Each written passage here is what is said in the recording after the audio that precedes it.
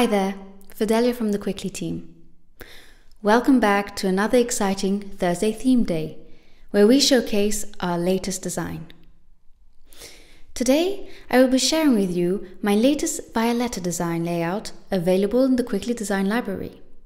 And later on, I will be showing you how to add an animation scroll to your blocks to create a dynamic design. Let's take a look at it. This week, we wanted to give you something fresh and new. This is a design for those who are not afraid of color or large headings and like to express their brand identity through bold choices. Our striking and nearly piercing yellow does a great job of potentially awakening the interest of users and making them want to continue to explore this environment. Once again, we like to keep our designs subtle and not too overbearing for our users. So instead of making it obvious that our yellow color is in our background, except for the hero, our yellow color only appears softly and smoothly on hover. It creates a nice dynamic while also keeping the design seemingly neutral. But the most challenging part of any design is to make sure it is coherent and isn't all over the place. Since we chose such a striking yellow and prominent headings, we found it important to keep our elements simple and connected by keeping a similar structure of columns throughout the design. We also managed to keep a similar look between our different elements by uniting them in the way they appear and disappear with the use of scrolling animations. This adds a bit more interest and appeal instead of them just staying flatly on the page.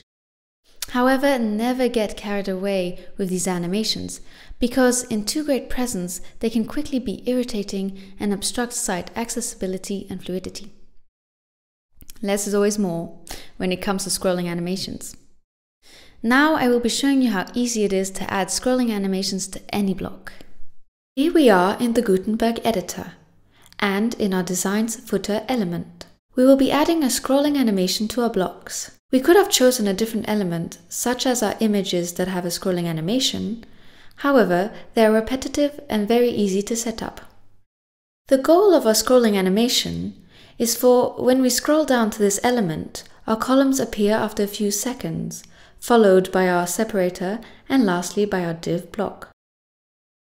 In order for them to appear one after the other, our blocks will have exactly the same animation, but it will be delayed a few seconds in order to create the desired effect. So let's start by adding our scrolling animation to our columns. I decided to add the animation individually to every column to help create the effect of smooth apparition. Let's select our first column and head to the Advanced tab and into the Animation on Scroll tab. Looking at these different settings can be overwhelming, especially without a visual representation of what everything does. So if like me you build better visually, click on the quick set icon, and as you can see, every animation can be seen visually.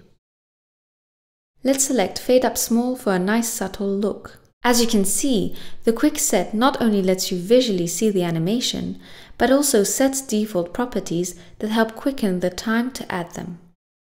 Next, let's give it a 0.8 seconds duration. I will repeat the same process for my other columns, but I will delay my second column by 2 seconds and my third by 0.4 seconds to help contribute to the smooth apparition of our columns block.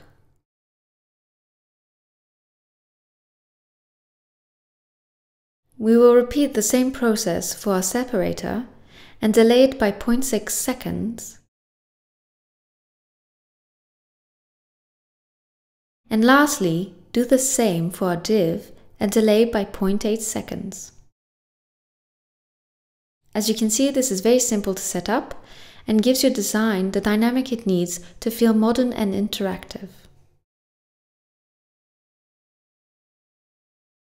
I hope you enjoyed the video. Don't hesitate to drop a comment. And see you soon. Bye.